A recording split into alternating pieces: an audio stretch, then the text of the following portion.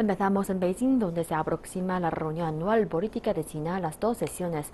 Se espera que el máximo órgano legislativo del país, la APN, y el mayor órgano consultivo, la CCPPCH, trabajen en el marco del desarrollo nacional.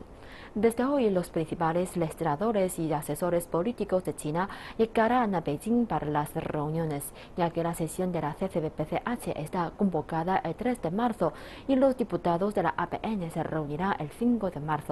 Esta tarde, el portavoz de la CCPPCH resumirá a los medios los principales temas que están en la agenda de este año.